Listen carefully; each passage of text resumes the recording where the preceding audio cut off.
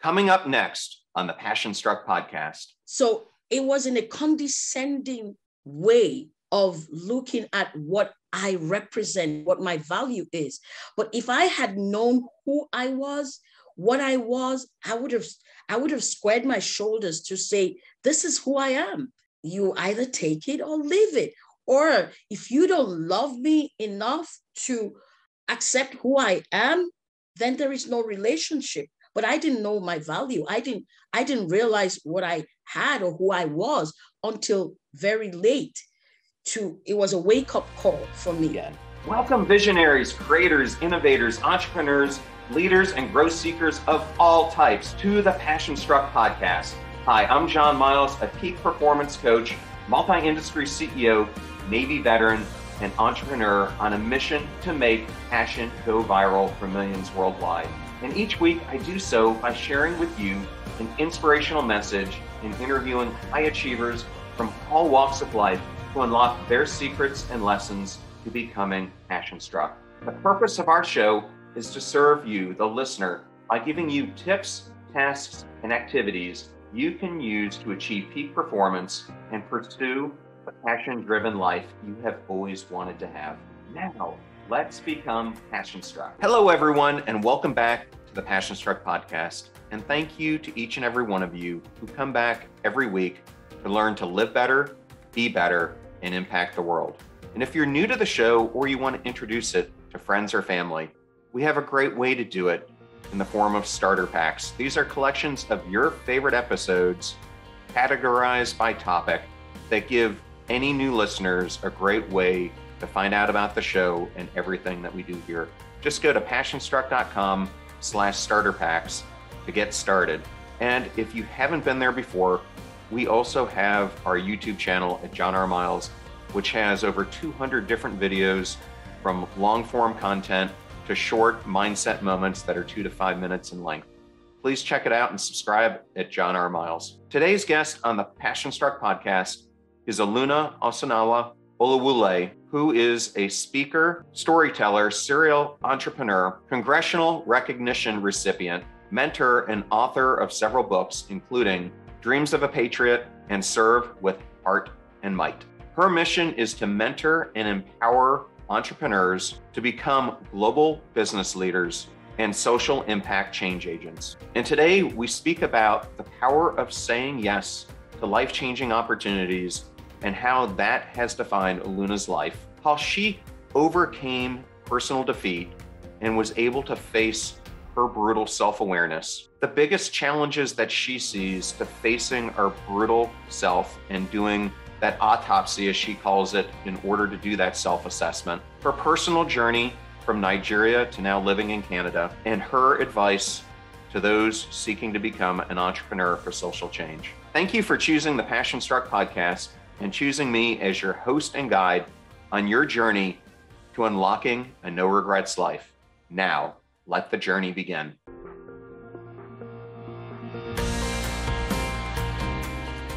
Before we begin, I'd like to emphasize that this podcast is part of my desire and effort to bring zero cost information to the general public regarding how to unlock an intentional, no regrets life. In keeping with that theme, I'd like to thank the sponsors of today's episode. Physical fitness is extremely important to me and forms the very foundation of achieving elite performance and high cognitive abilities which is why I work out daily. And if you're like me, it's hard to find training products that are strong enough to stand up to my gym days, spinning, CrossFit, high intensity interval training, and long hikes. That's why I love 10,000 Apparel and its dedication to continuous improvement. Their name references Malcolm Gladwell's prescription to perfection, and 10,000 is true to that philosophy and how they are making the highest quality, best fitting, and most comfortable training gear that I have ever worn. I especially love their versatile, lightweight, breathable shirts and interval shorts, which feature an optional liner. They actually have a team of 200 athletes testing their gear to ensure their dedication to creating perfect fit, trims, fabric, and design. 10,000 is offering Passion Struck listeners 15% off your purchase. Go to 10,000.cc and enter code PassionStruck to receive 15% off your purchase. That is T E N T H O U S A N D dot CC and enter code PassionStruck. Please consider supporting those who support this show and make it possible and free for our listeners. Now, back to Passion Struck. I am so excited about today's sponsor, Athletic Greens, because it is a product that I personally use and love. In fact, Athletic Greens is completely transforming nutrition and helping so many achieve peak performance. This product is so easy to use and make part of your daily morning routine. And that's exactly what happened to me. I just come down every single morning, and the first thing I do is take one scoop of their powder, put it in an eight ounce glass of water, and it tastes amazing. And the product consists of 75 different vitamins, minerals, immune supporting mushrooms, and probiotics. So much here to help your nutrition get the boost that it needs without you having to go to either the store or eat a salad or whatever it may be in our hectic schedules. And with all the stressors that are around us, this is such an easy way to solve your daily nutrition. Now, they are offering my audience a special when you subscribe. Get your one year supply of vitamin D, those five travel packs, by going to athleticgreens.com slash passionstruck. Welcome to the Passion Struck podcast. I am so glad to have you on. Thank you, John. It's a pleasure being here. I thank you for having me.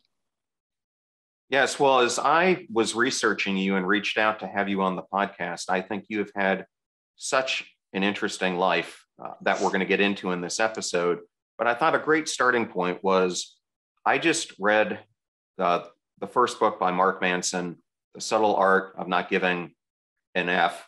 And for me, it was a difficult book to read because I have been putting it to the side actually for well over a year because the title of it kind of signifies everything that is the opposite of what I consider to be passion struck. Um, but as I got through the book, some areas I don't agree with, other areas I, I thought he made some great points. One particular chapter, though, was he thinks we should be saying more no's to life and to me, I think about it just the opposite. Opposite. I think there is the yes virus, but I think oftentimes too many of us are saying no to life-changing opportunities instead of doing the work to get you prepared to say yes and knowing that when they come. And I think that's something that has defined your life. So I thought that would be a great starting point for the audience to get to know you and how you have said yes to opportunities that have defined you. Thank you, John. I think you you rightly mentioned what encapsulates my entire life, which is saying yes to opportunities. And this has been, you know, the driving force that has brought me to where I am today.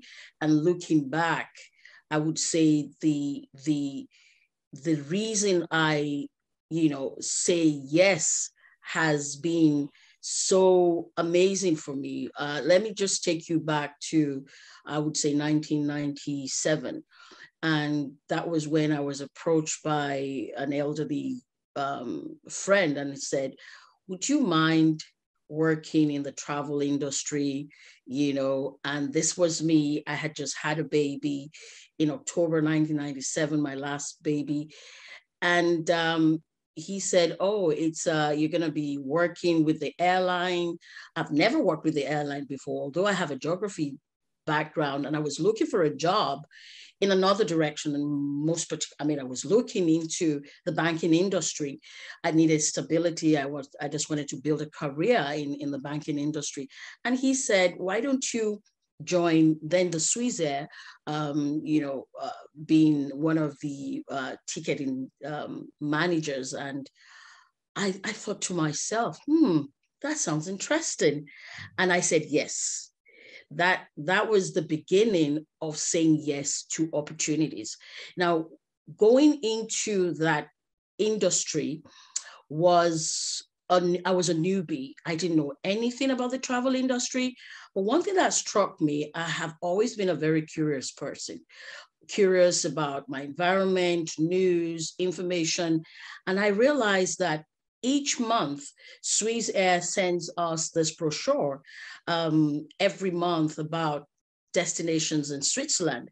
And I would see the Swiss Alps and every other thing. And I began to think to myself, how do I begin to bring people to Nigeria, you know, and um, uh, package tours and all of that. I didn't really want uh, just to be a booking agent from point A to point. I enjoyed it. I loved it, but I wanted the challenge. I didn't see all of that around me.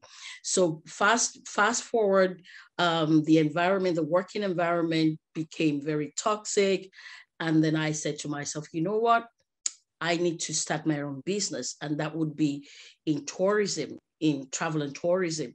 And I said yes to that singular passion of mine, something ignited inside of me. And I spoke with my dad. I said, This is my plan. And he said, Yes, okay, let's go. So that's how I moved from paid employment with a yes that was directed to entrepreneurship, starting a travel and tourism, um, a travel shop.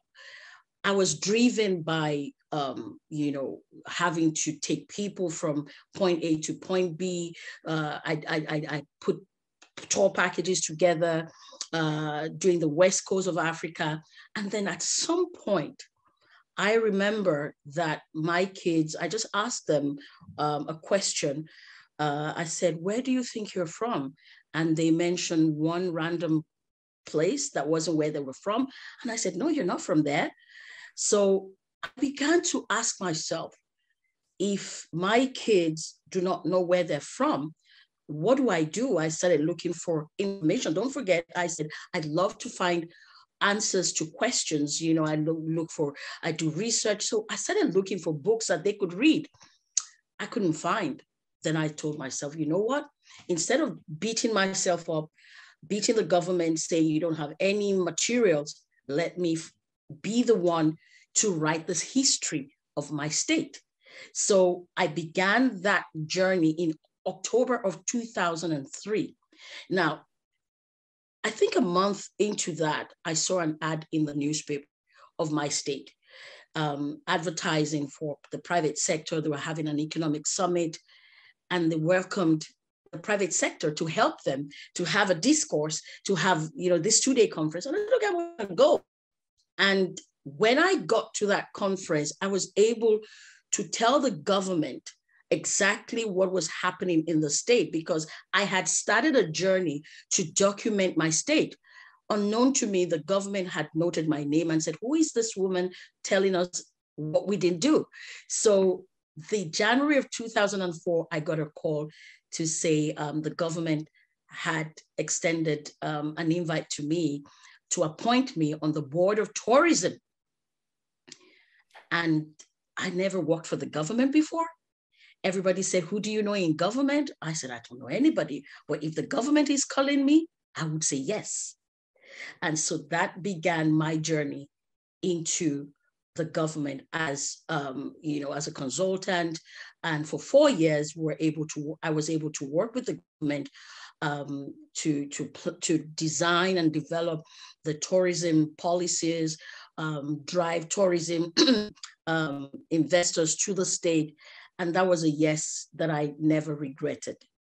So if if that journey, so many things, you know, saying yes to that opportunity opened the door for me in the government because at the end of about three years of the, the, the book that I was writing for the state, this book was presented to the state government.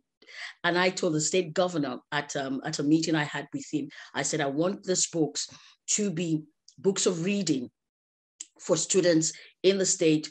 Um, this wasn't just for my kids, I was doing it for other you know, for the future generations of, of, of my state. I said, I want it to be a book of reading. I want it to, uh, to be launched in the state. And that's how I began my journey as a politician. I, I, became an accidental politician because I said yes to uh, a need of my children needing information about their the state of origin.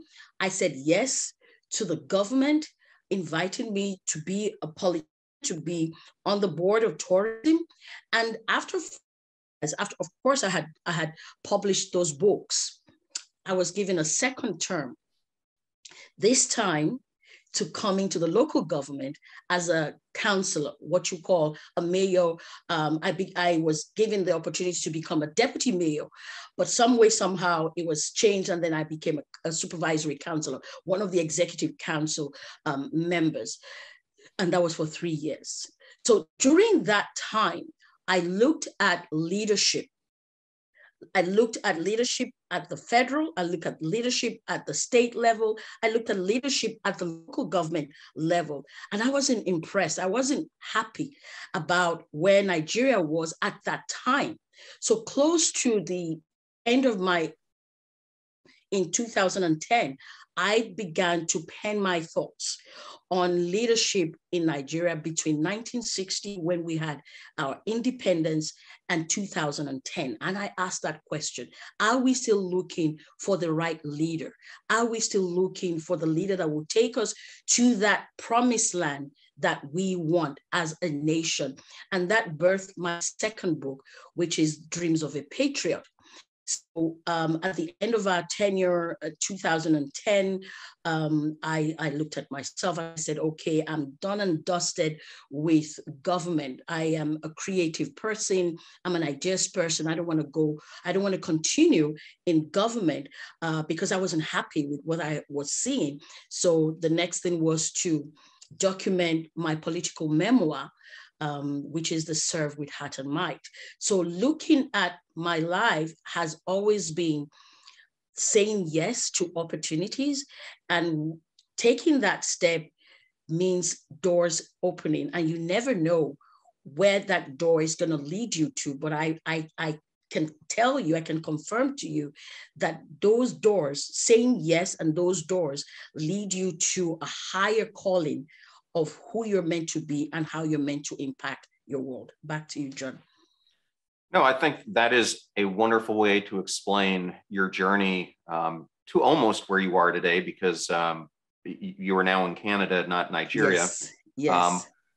Um, I know through my own career, when I would see high potential performers or people who I thought were high achievers, I would give them opportunities that were way outside of their comfort zone. And it was always very interesting for me to observe what their answer was going to be when I directed them to that opportunity because about 80% refused to take it on um, because they were kind of in their alley and didn't want to veer from it. And to me, it was a great way of looking at who was going to rise above and who was going to stay in their status quo, so, so to speak.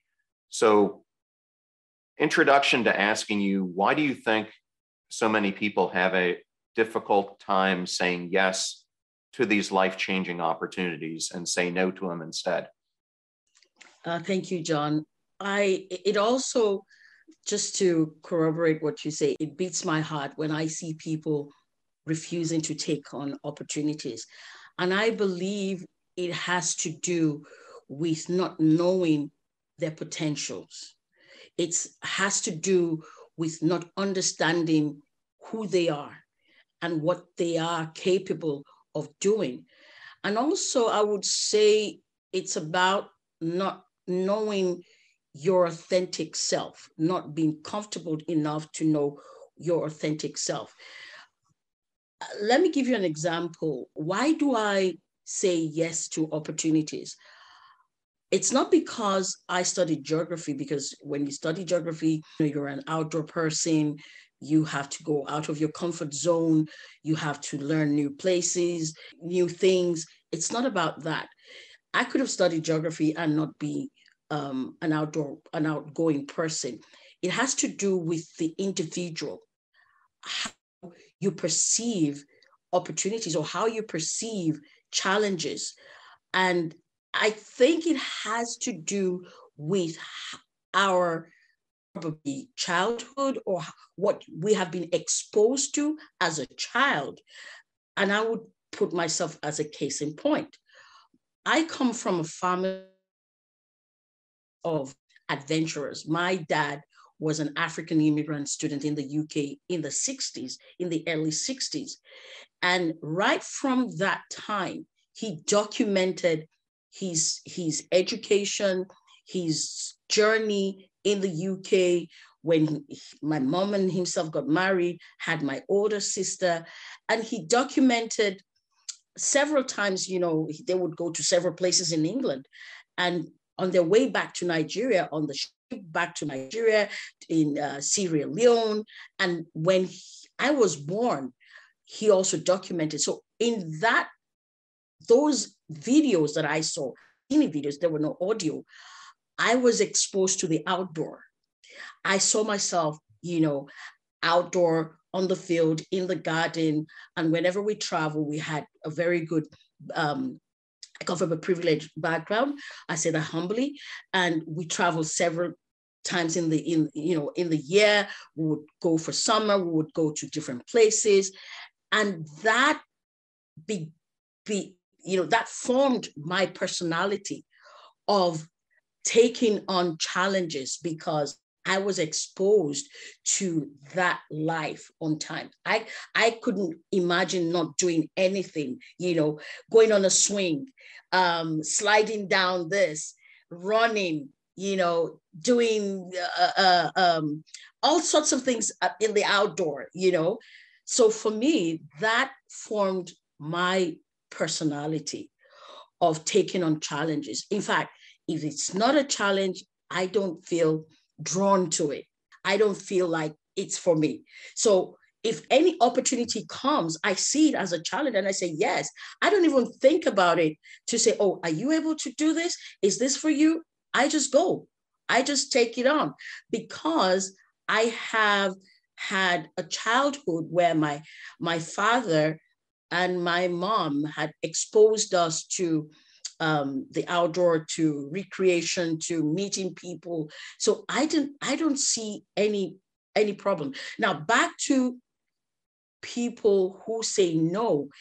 It's a times born out of fear of oh, if I fail, what's going to happen? I don't want to mess up. I don't want to. I, don't want to. I don't want to mess up. I don't want anybody to see my my my my frailties. I don't want anybody to see my weaknesses. But how would you grow if you do not fail? If you just stay in the comfort zone and not do anything and not challenge yourself, you're not growing. You're dying. So so a lot of times it has to do with understanding how do we unclutter those things that hold people captive, like fear, like what would other people say, or the voices in your head that says you're not good enough, you, you can't do it, you're gonna mess up, you've done this and that. So it's a change of a mindset and to expose such people to the possibilities of what can be if they say yes. Okay, well, thank you for that great answer. And I wanted to hit on your book, uh, Serve with Heart and Might. And there were two things I, I wanted to talk about. One was in that book, you talk about overcoming personal defeat. But another thing you talk about is having to do brutal self assessment. And I loved your terminology for that because the second solo episode I've ever done on Passion Struck was the first thing you've got to do if you're going to change is you've got to examine your brutal reality. And I use the word brutal because sometimes we don't like what we see in the mirror and it's hard to face it. And we want comfort, we don't want that pain. And to get to the other side of living the values that we set for ourselves is oftentimes pain. So, for you, what did that uh, wordology of brutal self assessment mean? And why did you pick those words? Thank you. I would say I needed, I had to be brutal to myself to look at those things that I sort of allowed to happen because I was living a life that was pleasing to other people. but not to myself. So, in order for me to move to where I would be more useful or more uh, impactful, I needed to look at what the weaknesses and what I had done or allowed um, you know to to to happen to me and one of the things was not being able to value myself enough. When i say value myself enough i looked at my creativity my the opportunities that have been given to me and i kind of dumb it down because i wanted to please people. So it put me in a position where i couldn't be totally myself because i was conscious of a maybe my ex-partner saying you know, you're too much. You know, why is it you? Why do you have to write this book again? Why do you have to be in government? Who needs you in government? Do you know your place? You're supposed to be a woman, you're supposed to be a wife, you're supposed to be this. And there was a constant struggle, a conflict that limited my performance.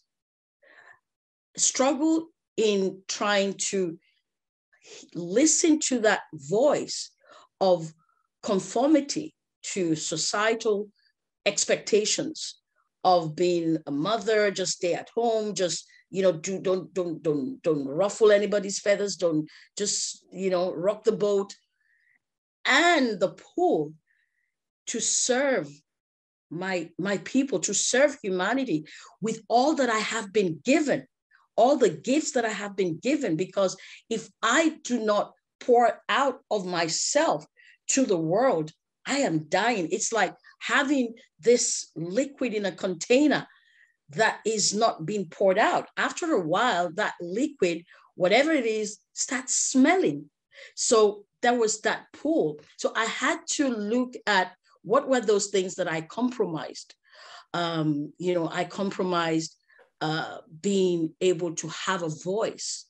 And being able to have a voice in a highly patriarchal system environment meant you were um, you saw you stuck out like a sore thumb. You were not the normal woman. You're not the normal wife. You're not the normal person that people want to identify with when it comes to oh how's your wife oh she's in government she's this, you know. So I I began to, you know, my voice became lowered. I didn't I didn't know what to do. I didn't know whether to listen to those voices or to um, be the person who I was meant to be and the per- and pursue my dreams, pursue my purpose, and to be able to move from that, I needed to assess myself to say, how did I get here? How did I be the person that I am seeing today? Um, that was then, you know, and it has to do with what I allowed over a period of many decades. I allowed other people to define me. I allowed the culture, the societal expectations to define me. And what that meant was I didn't live for myself. I lived for other people. I lived for my ex expectations, his family, what they would say, my own family. They would say, "Oh, what's what's what's what's with her? You know, can't she just be normal? You know." I lived for my kids because I didn't want my kids I wanted a, a safe home for my kids. So there I was in the midst of all this brouhaha and all of that, that I lost myself.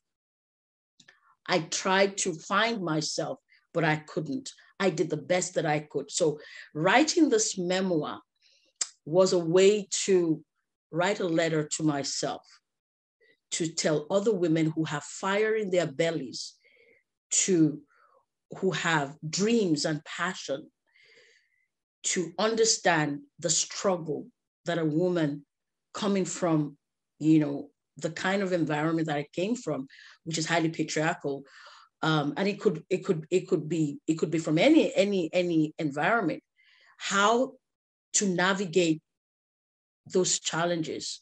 There were so many landmines that I had to overcome.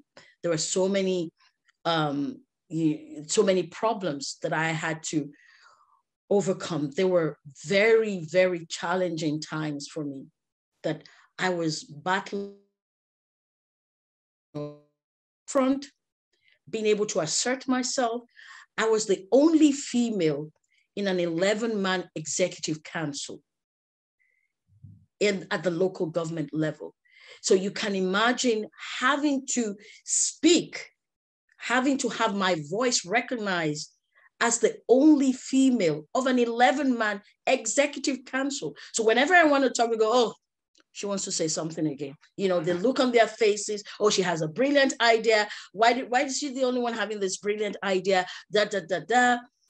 And that put a lot of pressure to overperform, to, to, to just drive yourself to be heard.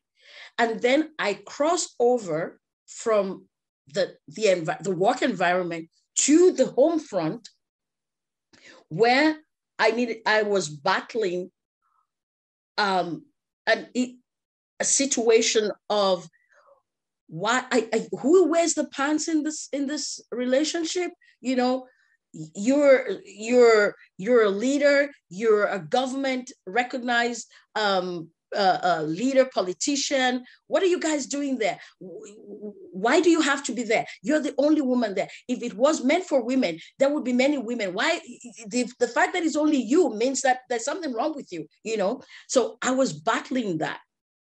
And I had to be present for my three kids.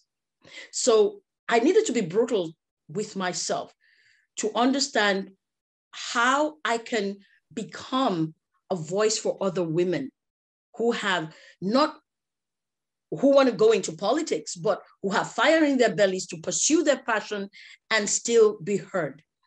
So those were the things that you know I was brutal about.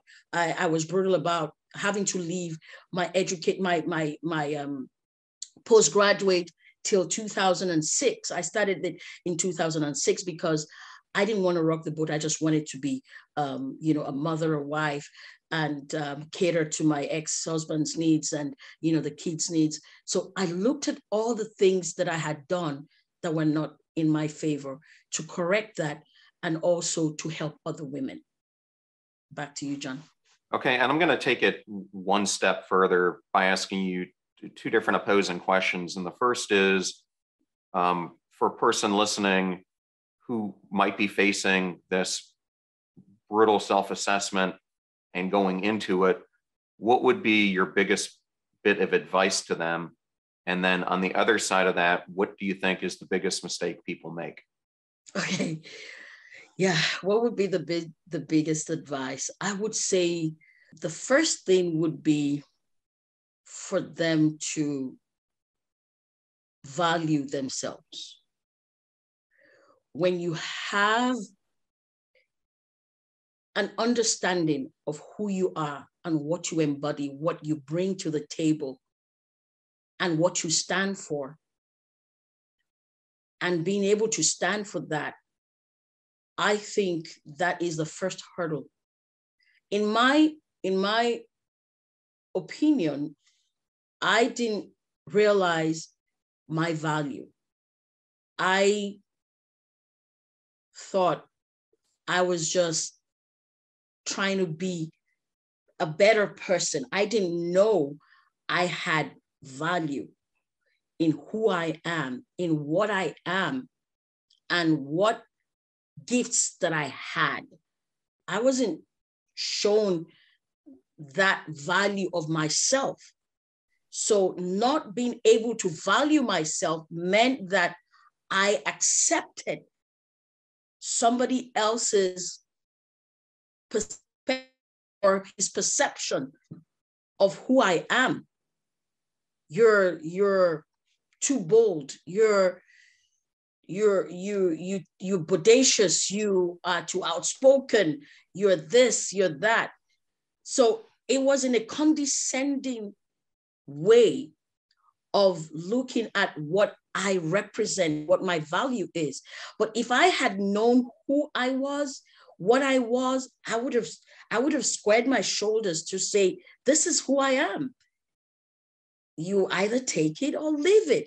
Or if you don't love me enough to accept who I am, then there is no relationship. But I didn't know my value. I didn't, I didn't realize what I had or who I was until very late. To it was a wake-up call for me because then I was reading somebody else's script about who I am in a negative way, in a derogatory way that didn't describe who I am. And until I found that power, I had to get my that power back. I had to get my value back to say, this is who I am. I I have I have been um, this person. I have been um, in government. I I have been at the state government. I have been at the local government. I have done this. That means I bring something to the table. So why would someone else read my values in an opposite um, direction, in an opposite way? So your second question would be what what is your second question? I lost track of your second The second question would be what mistakes do you see people typically make? I think um, in my own, I would use my my example. The mistakes we make is we don't spend time with ourselves first. And we we are often looking for validation. And that's the first mistake that people make. You're looking for validation from other people, be it opposite sex, whatever, whoever. We're looking for validation. So, in looking for validation, you leave the most important person which is you. So that, that's the mistake a lot of people make. And that's the mistake that I made. I was looking for validation.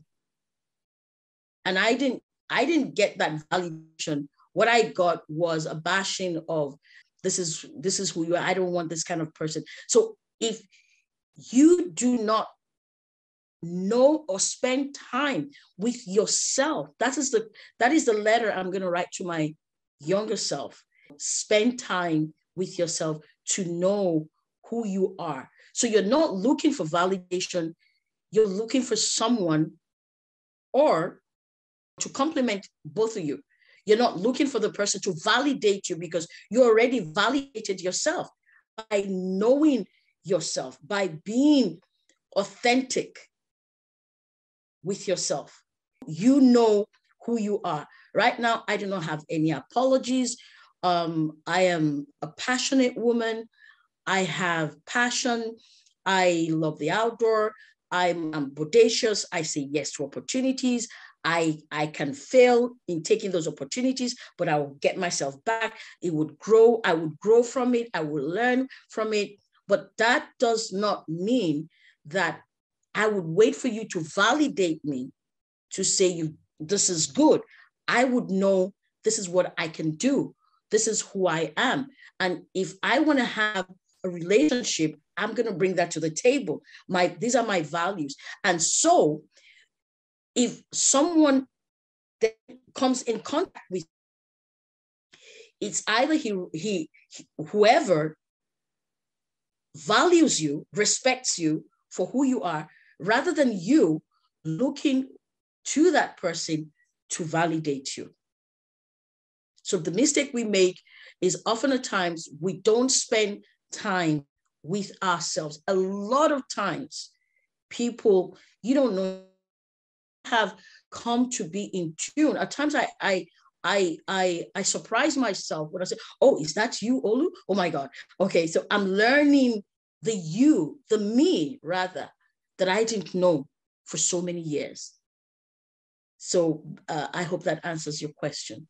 No, I think it was a, a, a very great answer and I think it was spot on. I, I would say that for me, another mistake people make is they don't accept the problems in their life. And instead, they want to pass on, well, I got fired from that job because I had a terrible boss, or this relationship didn't work because of the person I was with, or I didn't run the race I needed to because of the weather. I mean, whatever it is, I think one of the most difficult things for me to do as I spent more and more time with my own thoughts was accepting that I am in reality the person who creates the problem and the only person who can fix the problems, especially if it's a problem that keeps repeating itself.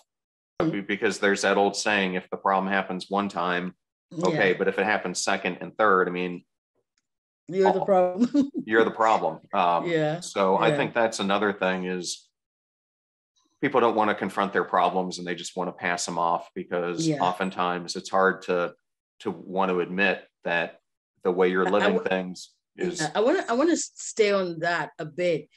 Um, when you say people don't want to own, uh, you know, uh, at times when I mean, in all that I'm saying, I'm not I'm uh, projecting that I'm a saint. I would say one of the problems that I had was in terms of finances, how to handle finances. And I looked at that aspect of my life that how I, I don't just get it. I don't just understand. I just don't don't know. But I had to peel back to have a self assessment and peeling back the the you know the the uh, in my life i looked at my childhood my dad was the sole provider. So I literally, you know, grew up in a in a in a home where I didn't have to look for money. Money, we just you needed shoes, it was there. We needed to travel, we just went on the plane. We needed to go in the car. I didn't know where money came from. Food, everything, toys, that clothing. Mm. So I never worked one day in my life. So I saw that pattern. I didn't know where money came from. So I didn't understand how to be financially um, independent. I didn't know what that meant or savings because that was there. And I saw my mother, she was a stay at home mom who she didn't own any property. My dad owned loads of loads and loads of properties, you know, everywhere and anywhere. And I didn't see my, I mean, my mom uh, talking to me or um, teaching us about savings, or even my dad, he was always about education. So I never worked. It was it was unheard of. I, I mean, I remember a time I told my dad I wanted to um, have a, a, a, holiday job um, at his um, office at that time, and he said, "No, no, no, no, no, no, no child of mine is working." You know, so that was end of the story. He said, "What do you want? This is this." So when I finished um, university, he bought me a car. So I didn't know where that came from. I didn't. He just traveled to Belgium. He went the UK. On his way back in Belgium, he bought a car and said, "Guess what? I bought you a car." So, right from my father's house, I went into marriage.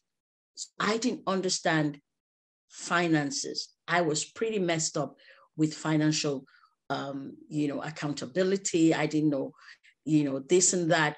And that was a problem for me. And I had a partner who had the opposite of my experience. He came from a humble background. So finances, money, saving was a biggie, was an issue. And for me, I was just bumbling off in life, you know, thinking money would just surface and all of that. So that was one of the things we had a huge conflict. I didn't understand what my problem was at that time because I came from a background that I didn't have that education about money.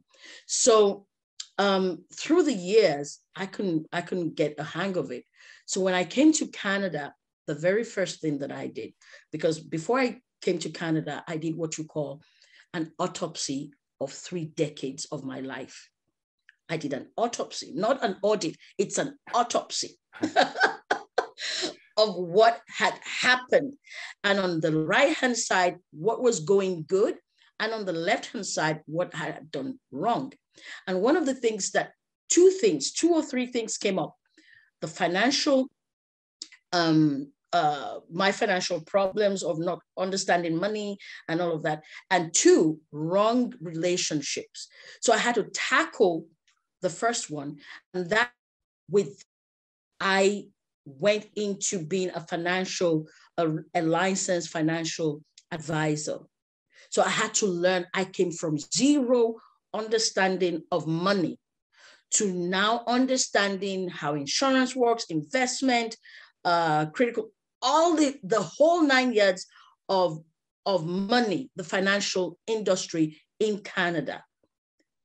And I got me a license to say this is it. So I needed to to to to, the problem, but it wasn't a problem that I I I it was like my problem.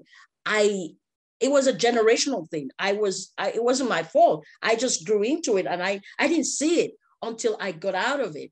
Then I began to see what was the problem. And then on the other side of wrong relationships, I began to look at the relationships that I had that didn't value me. And I decided to shut them down one by one and leave the ones that were healthy. And that was the only way, because those wrong relationships led to some of the decisions that I took in times past that made me fail at this venture or that venture. So I, I began to close all those relationships and sift through them to leave just a, a few on, on my fingers, you know, that were positive, that would move me to the next level, and then begin to cultivate better relationships that would move me to um, a better, a, to be a better expression of myself, a better person. So those are the things that I wanted to just bring out when you know when you're when you have to do um, an audit of your of yourself. Yes, I actually call it uh, conducting uh, the mosquito principle, which is a mosquito audit, because these pesky things are all around us, yet we often don't realize they're there until they bite us. And I think bad influences in our life are kind of the same way. Sometimes we accept them because they've been there for a while. Other times they sneak up uh, when we least expect it. But until you do that audit and pick those right influences, you're going to stay stuck.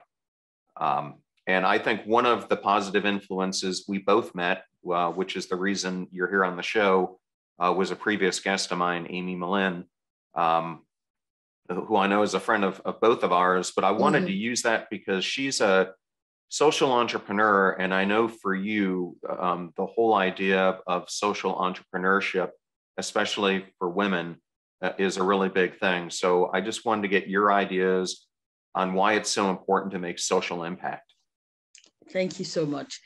Um, I think it stems from what we all have experienced um, that makes us to want to impact our world better. When I was growing up, I didn't have, I had an older sister, but she left for England when I was 10. So I didn't have an older sister in the house.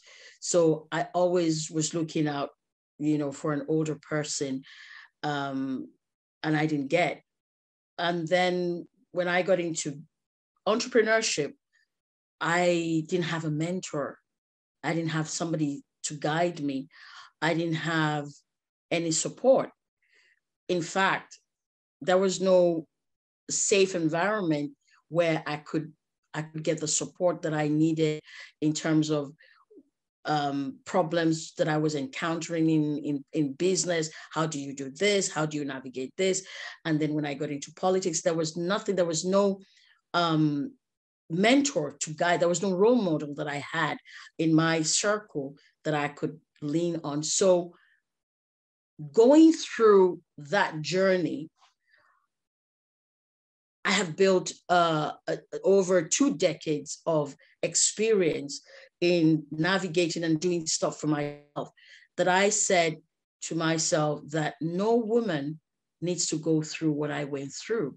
So I became the person that I was looking for by going into um, entrepreneurship with a view to impact not only you know uh, uh, make profit and and and all of that but also to become who i was looking for to become a role model a mentor a guide to other women entrepreneurs because i know the struggle.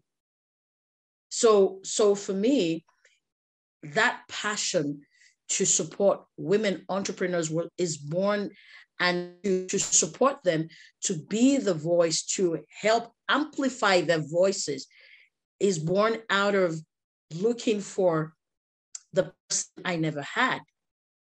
So everything that I did or I'm doing right now is on social entrepreneurship, which is in you know supporting women entrepreneurs, um, amplifying their voices, and being the person that I was looking for at the onset of my journey. So that's my that's the whole that's the whole philosophy. That's the the whole mandate that I have to help as many women to reach for their dreams, to give a voice to them. You know, either they've been underrepresented, underserved, unheard, to give a voice to them and to be that that shoulder that they can they can they can stand on to be the best expression of themselves because so much lies in a woman.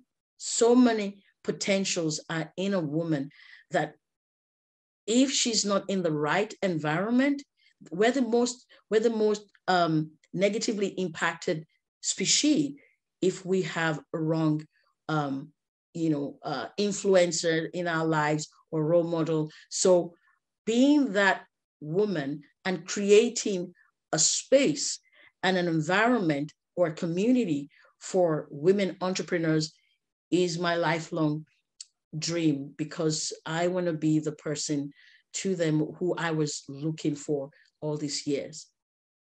Okay, and I think that's a great segue for I always like to give the guest a chance to tell the listener where they can find more information about themselves at. So I think this is a great segue into that. Okay. All right. So right now I am running a storytelling series for entrepreneurs, founders, venture capitalists, um, angel investors, startups, creating that community of exchange of um, ideas, um, experience, and you can find, um, you know, me on LinkedIn, Oluneye Oluwole, or you can find on my um, website, oluneyespeaks.com. And um, we're going to the last season, the last episode of the storytelling series, where we're actually transitioning into something, um, you know, bigger for next year for season two. So I would say, but if you if if you connect with me on LinkedIn or on my website, um, my go-to is my LinkedIn. Um, then you would have more information uh, regarding that community building for for entrepreneurs. Okay, and I'll make sure all that is in the show notes, and I'll also put uh, your books in the show notes as well, so people yeah. can get access to them. So I am now at the part of the interview where normally I ask four or five fun questions. I'm going to do that for four of them, but on one of them, um, it, it's a little bit more of a serious question, and that is, um, I know you love your country, Nigeria, and that just speaks with the way that you talk about it through your heart. And you were there through both both times of military rule, and for those who don't know it, about 20 years ago, little over 20 years ago, it became the largest democracy in Africa because Nigeria is the largest country and has the largest economy. Mm. Now that you're living in Canada and you're seeing some of the things that are happening in the United States, et cetera, mm-hmm. what are some of the biggest, or maybe the biggest lesson you learned during your time in Nigeria that could be mm. applied mm. to kind of the political unrest that we're having here in the United States? I would say it it has to it has to be on leadership leadership um the question be the my greatest what? What did you say? The great the greatest um lesson? Yes. I would say it's um it's a leadership. When leaders stop being servant leaders by that i mean leadership is for the people by the people and uh, they they forget the most important and which is to serve people which is to serve um, you know uh, whoever elected them into into the office. So when there is a disconnect between um, what leadership is meant to be and what they kind of see as the status quo because one of the things that happens with leaders is you know they forget the why that they were elected the why. And that is taken over by a lot of things you know um, this is how it's done this is the status quo just and for the fear of making a change. So i see that as you know um, one of the problems in in my in my native country nigeria um, the leaders have left the duty of being a leader, being a servant leader, to pursuing um, different agenda that doesn't that doesn't um, translate to uh, you know the good of the the people. So I see that as um, a problem, and it, it, it can be it can be it, it it can it can be in any country. So when I wrote Serve with Heart and Might, it was taken from our anthem, you know, um, Nigeria's anthem to serve with heart and mind. When a leader stops serving with his heart and with his might, you know, he it, it, it, what you get is anarchy. What you get is what we're seeing all over the world. Because as a leader, you must have a heart to to serve people, and you must have the strength to be able to carry the burden of that office and do it selflessly to the best of your ability. So if leaders who are being called are not answering to that call, then there's going to be chaos and all, all sorts of uh, problems that we see. Yeah, I think that's a great point. If you're not uh, really in it for your constituents, which is the whole reason that you're elected, is to mm-hmm. represent them and their desires, and it becomes more about your party's desires or your personal desires, mm-hmm. it's never going to be a winning solution. Um, Okay, so I'm going to ask you four quick, questions. fun questions now. okay. Um, so the first one is if you could meet a person you've never never met before, dead or alive, who would that person be? Hmm. I'd say it would be Maya Angelou. Okay. And why would I say it's Maya? She represents, she's an epitome of wisdom, of um, a woman who's gone through a lot of struggle to be who she was and how she impacted not only has home state of Arkansas, but how her impact reverberated all over the world to become um, a world leader in her own right in, in arts, in, in spoken word, in, in music, in anything, and the way she carried herself with the knowledge of who she, she was. So she's someone to me that I would love to meet, to just ask her those questions. How did you be, how did you get into your own? How did you, you know, get into, um, you know, the poems? And when she, when she, when she does those, you know, performances, well, her poetry, you know, says, I still arise, I rise. I just want to, I just want to hear that voice and, and ask her how she, how she came to, to be who she was. Okay. So that's my answer. That's a great answer. Um, so, next question is you and I both share a passion for music. It was mm-hmm. something I hope we could have dived more into, but we didn't get a chance. But okay. what has been what has been your biggest musical influence? Mm. I would say my oh, whew, where do I where do I start from in terms of music? Because uh, my dad introduced us to different genres of music um, R&B, soul, funk, Afrobeats. I'm trying to get you the history of my musical journey. And then um, I went into um, spiritual, um, you know, well, hymnals because we were in, where I was born in church, born and raised in church. And um, so if I look at, if I look at my my my musical journey, I would say right now, uh, having gone through um, the different genres of music, my go-to is the uh, gospel music now because that's where I would say my my my my creative zone where I have a connection with, with my spirituality. And that for me is my biggest passion right now. That the kind of music that I want to produce. Like I've written two songs now.